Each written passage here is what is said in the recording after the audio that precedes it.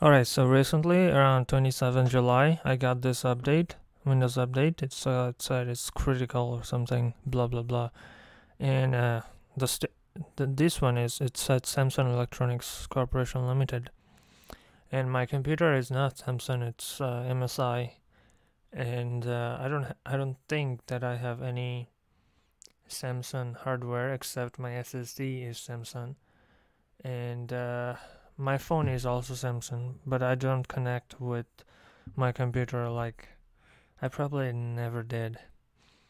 Uh, I only connect connected with my Bluetooth, which is not Samsung, which is Amazon. So um, I don't know why I had, I had this update. I installed it anyway, and uh, yeah, and uh, so far I haven't got any problems yet.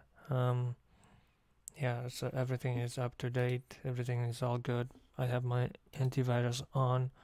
What? Have my antivirus on so yeah just install it. Maybe it's uh, related to some of your hardware. Maybe you do not know if it's it's a samsung brand.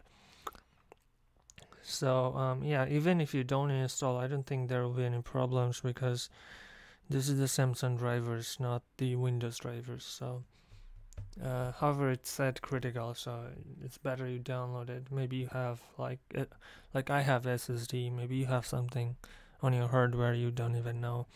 So yeah, thanks for watching, guys. Uh, see you guys next video.